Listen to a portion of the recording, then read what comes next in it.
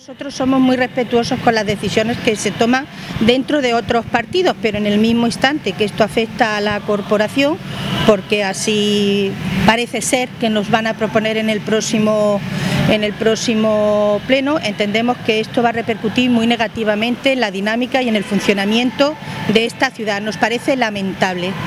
Nos parece lamentable. ¿Por qué? Porque mm, se está hablando de la destitución de personas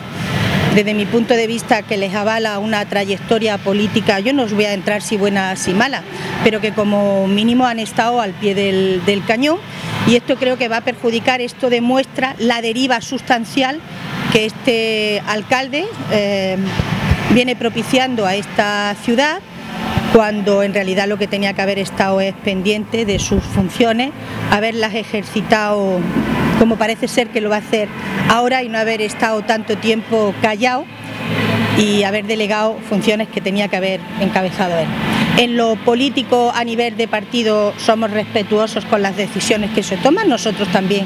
hemos tenido problemas en el nuestro, no así en lo institucional. Lo nuestro ha afectado mínimamente a lo institucional porque el Partido Popular ha seguido trabajando codo con codo, haciendo un sobreesfuerzo, incluso somos, como en muchas ocasiones lo hemos dicho, los auténticos punta de lanza de la política municipal.